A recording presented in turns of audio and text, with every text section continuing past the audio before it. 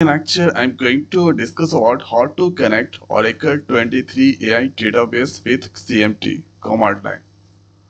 So here first you need to go on this Google search box right there SQLcl. Then go on this oracle.com site. Then you can get here Oracle SQLcl. So as Oracle SQL developer command line is a free command line interface for Oracle database. So let's click on this download. So this is the version is there. So there I'm going to click on this download. And now file is size is 64.662 MB. So that's done here.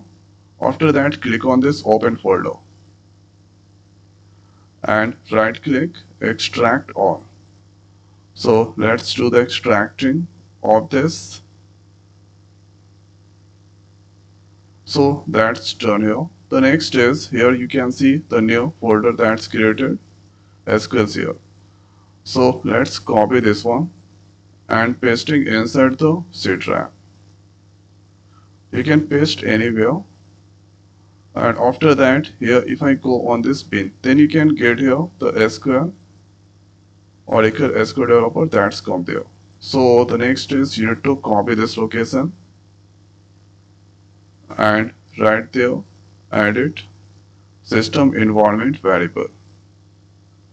And if I go on this environment variable there let's go on this path. Click on new and okay okay okay the next is if I open this place command prompt so here SQL minus minus version so here with the help of okay one thing let's use CLS.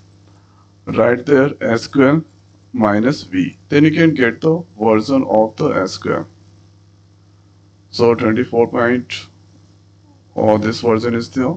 Now thereafter let's see the connection so for this one Oracle Database 23 AI free developer that mostly run inside Oracle VM VirtualBox and now if I make this bigger so you can see SQL here access predefined free. So you can connect here with the help of this command. Okay. So you can connect here so let's copy this and simply you need to paste there. Because SQL is working then you can paste here. So Oracle connecting with the HR and here localhost port number and free PDB 1 so this is your service name. Press enter. So now you can see here so here you can see connected to Oracle database 23 AI free release. So this successfully connected because I have given the all detail correct. So thereafter SQL prompt that's come there and we know inside the HR database some tables. So let's use here select a star from employees So now you can see employees table record that's displaying. Total numbers of rows are 107. And thereafter let's uh, select here, select a star from departments. So this here displaying the departments table record. So total 27 rows is there.